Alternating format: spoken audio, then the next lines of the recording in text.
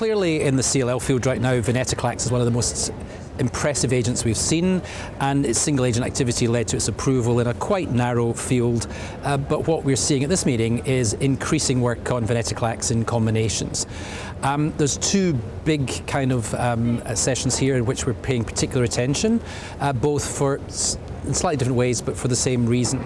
Probably the, the most important session that's here for the whole CLL field is the Murano trial, which is a randomized trial of bendamustine rituximab versus venetoclax plus rituximab, and that's being presented at the late breaking abstract session.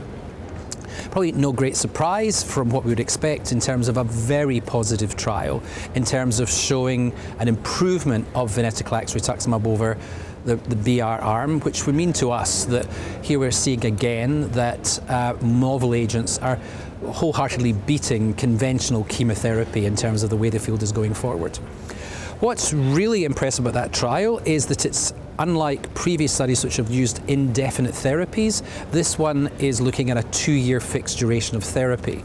Now clearly we're going to need further follow-up to be able to determine how long those patients will remain in remission, but the progression-free survival advantage that we see with the combination as well as the ability to get patients off drug and achieve minimal residual disease eradication, means that potentially we're on the cusp of being able to use these novel agents in a way to really improve the outcome for our patients.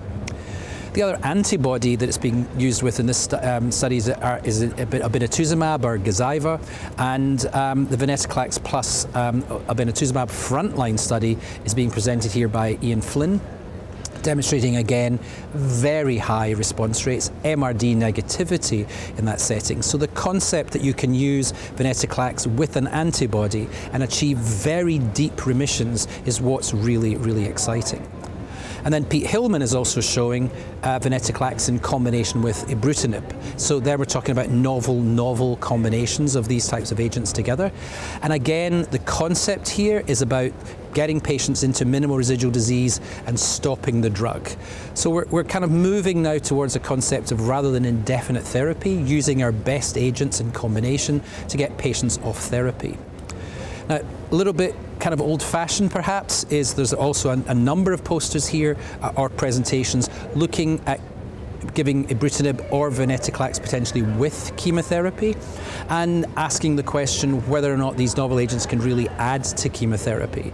Again, looking very impressive in terms of results different ways of doing it. One sequential, the German study group have using some chemotherapy to debulk the patient, then using ibrutinib venetoclax combinations. Others like Matt Davids and, um, uh, and the group from MD Anderson looking at adding um, ibrutinib to FCR or even FCG. It's all about finding what's the right combination to get the patients into the deepest remission, have a fixed duration of therapy, and hopefully leading towards cure.